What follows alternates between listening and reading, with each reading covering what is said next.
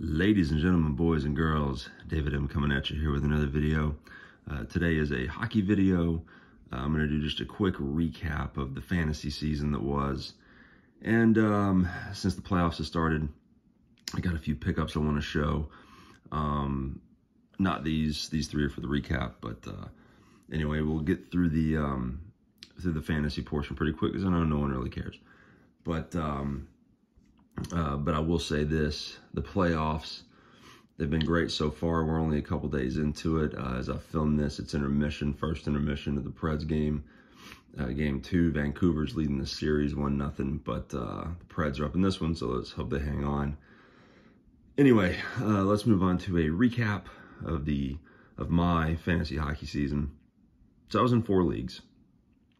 The first one I'll I'll tell you about real quick was a a season a total season points league, which I've never done before in any sport. And uh, I didn't realize until several months into it that there was a cap on the uh, the number of games you could play. So I knew it was that way in Roto, but I've never, I didn't know it was that way in season long points leagues. So bottom line is I ran out of games with several weeks to go in the season.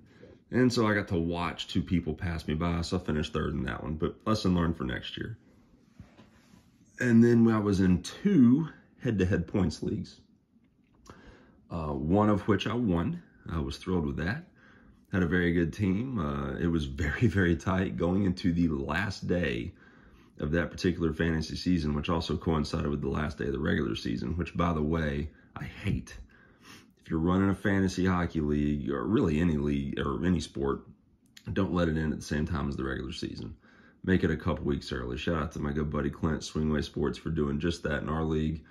Uh, but it, it, should never end uh, at the same time as the season because people sit out, people rest. It just, it sucks when that happens. But anyway, we went into the last day uh, and I, I, I snapshotted a picture to my text group. I think it was less than a point separated us. Uh, my team ended up winning, so that was great. So that was one win. The other one in the head-to-head points league that I was talking about in Clint's league, that was the supremely disappointing one because my team that leaves, um, that's right, leaves, because by God, that's proper grammar where I'm from, but really it's just a mess with uh, my good buddy Walter, Plockett of Cards. Uh, but they were just a dominant monster team all year and then ran into the buzz saw that was Travis N.W. Stang uh, in the playoffs in the championship round and man, did he sweep my leg. It was, again, we went into the last day separated by like a point, maybe less than a point, but he ended up beating me by like 20 or 30 points. It was insane.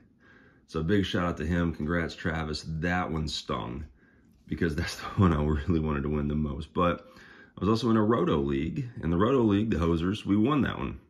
Um, shout out to Walter there. He came in second. It was close all year long, but uh, anyway, they won. My best performers, I know not the most popular guy, but I had this guy, Brady Tkachuk. Uh, he was my most owned player. I think I had him on all four teams. So there's just his young guns there. He did a, a fantastic job for me. That's just odd. I've shown these before, but just a little recap there. Then JT Miller was my next most owned player. I had him everywhere. Really like him. He's one of my favorite players um, to watch. Now, I'm not rooting for him at the moment because we're taking on the Preds, but um, there's JT Miller. And I have more Millers to show that I'll do in my next video. Um, and then finally, Mikko Rantanen was also a hoser. Um, and a really huge contributor there all year long. So there's three of the standouts from the hosers. Now, there was another standout on the team whose card I'm about to show next. So I'm going to take these down and show these next three. Now, same three cards, one player. First of all, on that hoser team, I, uh, in the draft, I had Mitch Marner, I had Willie Nylander, and I had the man, Auston Matthews, and his 69 goals. So what I'm about to show is a few uh, pickups of his that are basically, these aren't young guns because I could never afford that, but cheap rookies, right? So we'll start off with this one, which is really cool. Love my Sports Illustrated for kids, man. There's the Auston Matthews Sports Illustrated for Kids. Um, the funny thing about these cards, I got this for like five bucks, right? But these cards in like a PSA 8 go for a couple hundred. Like, man, if I was some sort of flipper or investor, I'd, you know, buy a bunch of them. I'm not that way. I'm just, I'm glad to own that one. It's a cool image. Like it. Um, actually, I'm to set this one over here.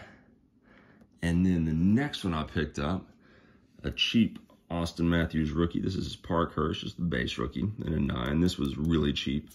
Um, added this, I don't know, it's been, it's been a while ago when I added this one, a couple months probably. Just now getting around to show it. But the big one, my favorite edition, I'll bring it front and center, and I hope my camera can do this one justice. From 2016, this is Upper Deck SPX, the Auston Matthews, I guess you'd call that a, a foil or a hollow rookie, and it is numbered. I don't know if you can see that there. Again, I apologize for my terrible camera work, but there's the number right there. 163 out of 399. Just a beautiful, beautiful card. Um, found a great deal on this one. There weren't too many of these out there for sale.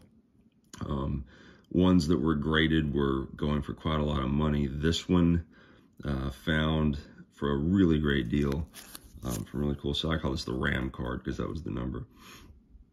But anyway, was very happy to add this Auston Matthews um, to the collection. He was uh, another key member of the Hosers.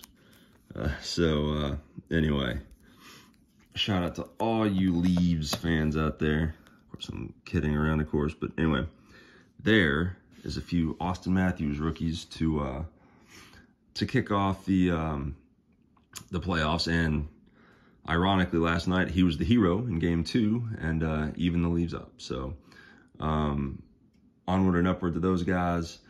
Everyone enjoy the playoffs. My next video, I will show, again, it'll be a little bit more hockey. Actually, I do have one more VR to do uh, for my buddy Pat, Passionate Pat Grad. It's Mother's Day VR. Um, it's not in time for his contest or anything, but I want to, I still want to do the video. So anyway, uh, with that, I hope everyone is doing well. Enjoy the playoffs. We'll catch you next time.